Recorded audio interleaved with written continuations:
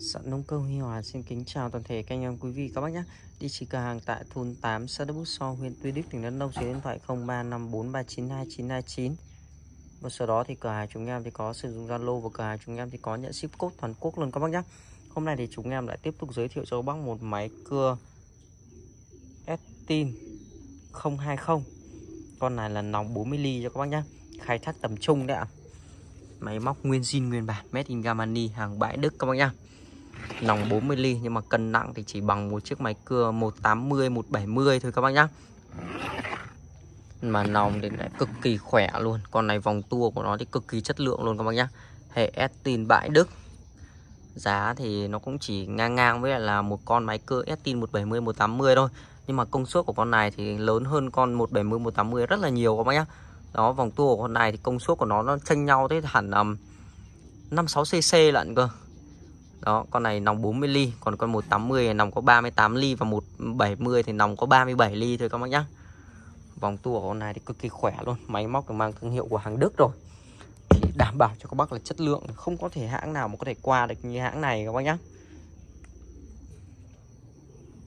Giá cả phải chăng? Hiện tại thì con này thì cửa hàng bán với giá là 3 triệu 400 ngàn các bác nhá.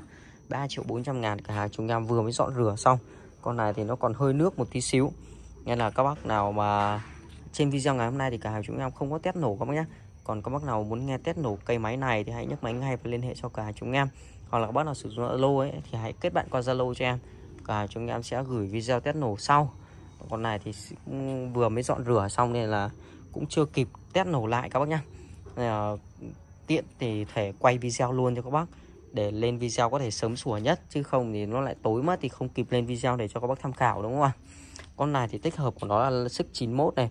Lam là lam mặt cắt được 40 luôn các bác nhà siêu dài. Đấy. Sự, uh, có hàm rồng cho các bác luôn. Thắng xích thì còn sử dụng đầy đủ nguyên nguyên zin nguyên bản. Máy móc nguyên zin các bác không hề bể vỡ hay làm sao cả.